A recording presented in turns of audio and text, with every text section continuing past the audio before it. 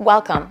I will be your coding assistant today. Okay, okay, it's just me. And no, I'm not going to be your coding assistant today, but I am going to share with you some of my favorite AI coding assistants that will help you build faster, more efficiently, and you can even utilize if you are not a coder, meaning if you are a business owner, project manager, any kind of leader in the digital space, understanding what developers are working on or a little bit about code can really help set you apart. So whether you are a developer, digital leader, anyone in between, these tools will really help benefit you. All right, let's get into some AI coding tool assistance.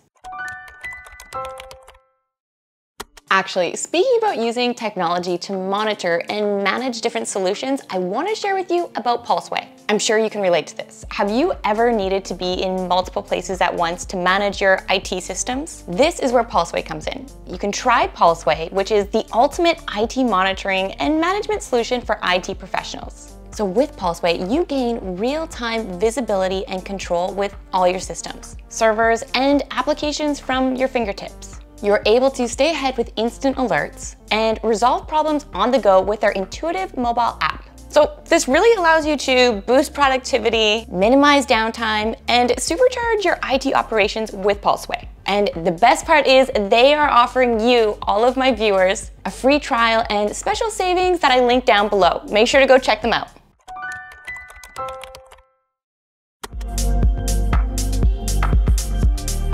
One of the most useful applications of AI coding assistance is to use it for code search. So no longer do you have to sift through the documentation, sift through Stack Overflow. You can utilize this tool that is implemented right within your code base. Now for this, I would say one of the best out there right now is GitHub Copilot. Also, if you disagree, I'm curious to hear why and leave other tools that you love for this down below. With this, you are able to describe in human language uh, what exactly you are searching for or looking to implement in the code. And and in turn it will give you some suggestions. So let's go through an example of this. Let's use GitHub Copilot. So as we know, it's trained on millions of lines of public code and it can rapidly scan all of these lines of code and find answers for you. Okay, let's use this example. Say you are building a web application and you're using Flask and want to implement user authentication and login. So instead of searching online our old way of something like uh, Flask login code samples or how to implement authentication and login with Flask, you can simply write a comment with GitHub Copilot. So let's pull it up on screen here. Maybe it would be a comment such as authenticate user login with Flask. And what GitHub Copilot will do is share with you or generate code such as this, which really goes through the entire step-by-step -step process and also to leave some really nice comments. Number two is get AI code completion suggestions. As you're typing code, AI assistants can suggest completions to really speed up the process. And this doesn't mean, similar to using AI for writing or creating different content, it's not as though you have to take it for exactly what it spits out to you, but you can take that and modify it to your company's coding practices if you're allowed to use something like GitHub Copilot, of course. Don't just use AI tools without confirming with your manager. And taking that piece so that it spits out for you and uh, altering it or modifying it to make sure it fits properly within the code base. But it is a great way to really code at a much quicker rate. So as you can see on screen here, here's an example on GitHub's Copilot uh, website actually that does just this. You are typing and it will suggest some code for you. Number three is use AI to help you generate boilerplate code. This is another way that will save you a lot of time when you are coding and also help you generate uh, files that are kind of consistent or repetitive tasks, such as say you are building a config file or a test. AI can really help generate the boilerplate or the boiler, yeah, the boilerplate code to get started. Now, I wanna take a step back from GitHub Copilot because I know we've been speaking a lot about that. I'll share different ones throughout this video. Uh, this one is called Cody and it is by SourceGraph. Now, Cody can do a few different things. Uh, it's I've been tinkering around with it. It's pretty cool. But in terms of what we are speaking about for point number three, you can input with Cody to generate boilerplate code for specific files and it will spit it out for you. On another note though, I have to share with you something that's pretty cool. I'll put up on screen here. Uh, I was going through Cody and different examples with it. One that I can totally relate to, and maybe you can as well, is around uh, regex and specifically when someone on your team is has written a regex and they don't comment what it is for, and it's this long, crazy string, and you're like, what is going on here? I used to always input it into Google and search up on Stack Overflow or use different regex tools that are supposed to tell you what is going on, but it's just like a whole puzzle. I thought this was really cool. You can simply highlight it and say, Cody, what is going on here? Or explain to me what this regex is, and it will explain to you in simple terms. That would have saved me so many hours. To think about the fact that the majority of my coding career, or my developer career, I should say, was done before AI was really popular is so frustrating. I missed out on so many time-saving tools. Coming in at number four is refactoring code. This is a great way if you want to really standardize code across your team or even if you are building something on your own, ensuring that you are doing so with best practices. And a way that this could be done if you are working on a team is, of course, you're all using the same AI tool and having it implemented uh, or customized, I should say, depending on what tool you're using, that when you say, you know, refactor this code, it refactors it in a way that makes sense and flows with other team members' codes. And this is across all different AI tools that can really do it. Uh, in this example, example, I'll still lean on Cody for it because, um, you know, I'll do two examples of each. And I think Cody does a really good job of it. It sounds like I'm talking about a person when I keep on saying Cody. Cody AI does a good job of this, which I'll share on screen here. Okay, this next one is probably one of my favorite ways, which is using it to implement automated code reviews. Now for this, this is a great way, especially if you maybe are learning how to code or building something on your own and you want someone else to review your code. Having AI do it could be a good way to go about it. Just use it with a grain of salt or cautionary, depending on what tool you are using. There is the factor of the human touch still. But for this example, let's use Claude and you simply can input your code or a piece of your code into the AI and then it will suggest for you different areas of feedback or improvement. It also might help you uh, identify future or potential bugs that are vulnerable in your code.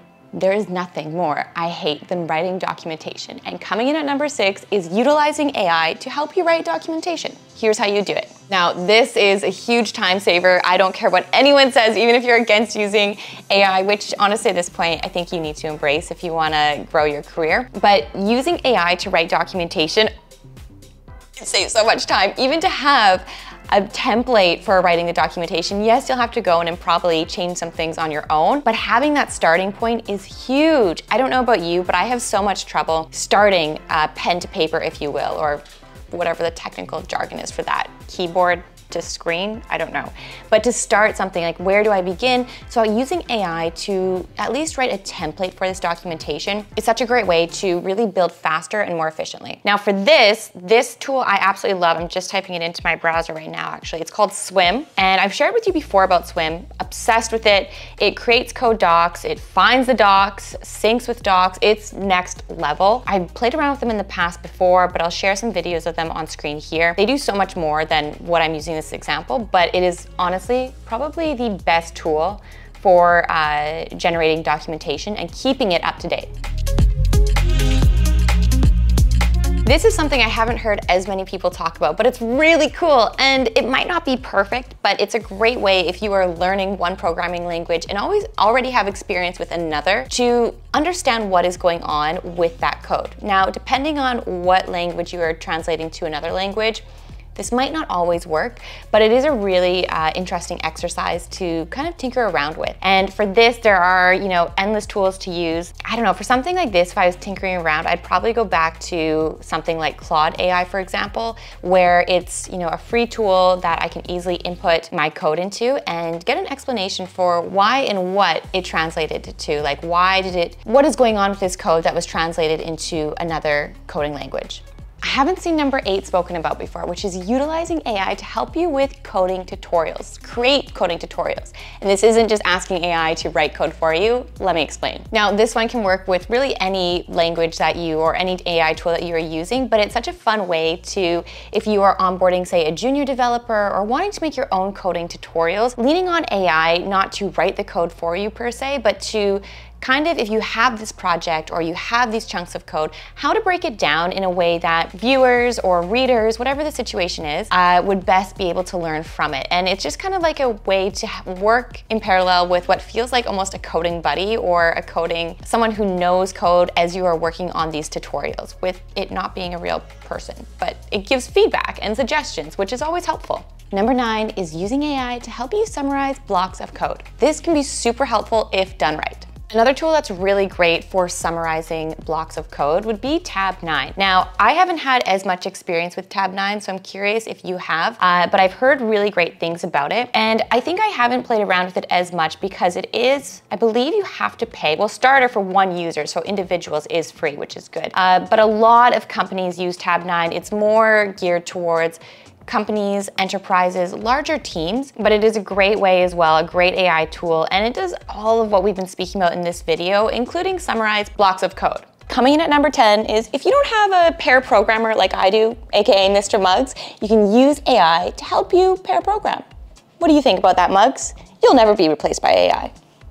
And this is something that we've really been talking about throughout the entire video or alluding to, which is it is kind of like a pair programmer. It can review your code in real time as you are working, suggest other uh, pieces of code to you, moderate. Camera just died, being really real here.